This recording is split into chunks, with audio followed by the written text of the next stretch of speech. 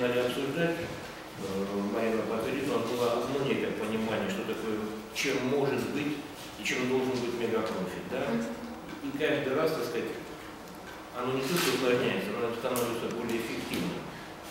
Если, так сказать, вы посмотрите и поймете со стороны, что мы что-то делаем не так, чисто технологически, скажите, мы открыты, так сказать, не только к похвале, но мы открыты, еще более открыты и конструктивной критике.